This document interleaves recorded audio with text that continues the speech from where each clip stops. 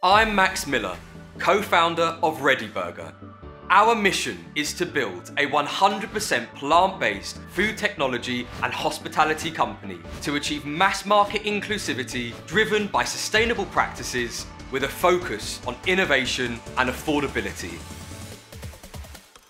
Here at Ready Burger, we have recreated your fast food favourites, focusing on price parity, quality of products, and accessibility.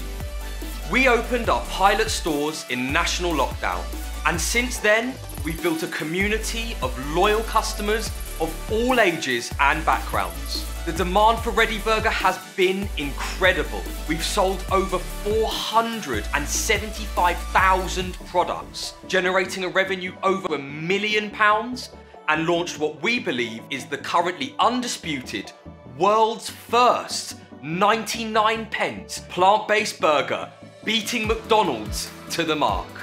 In collaboration with our key partners, we've successfully developed Ready Burger beef patties, chicken and fish products, burger buns, and a variety of dip pots and sauces. Givaudan, a world-leading food technology company, have partnered with us at this early stage to develop a full range of bespoke flavors. Most critically, we're excited to announce the integration of their groundbreaking patent-pending technology into our core proteins.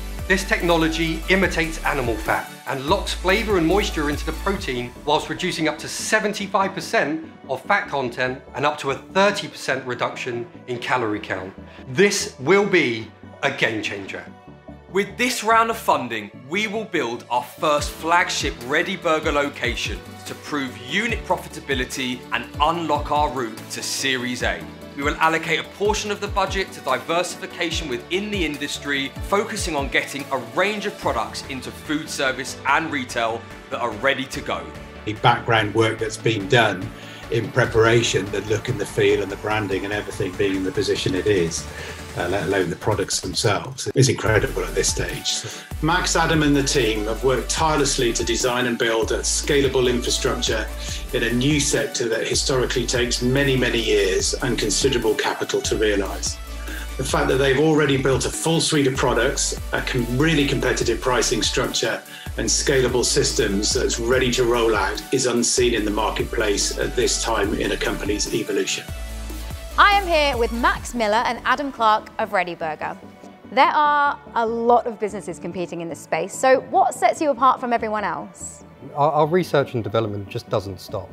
Every time we think that we've done something and, and, nailed it, we go back to the lab and continue to progress forward with new flavors, new proteins, new technologies. And our distribution and supply chain is just really a critical point of our whole business. We can produce a new product, bring a new flavor and specification of an item to the market within a 12-week window.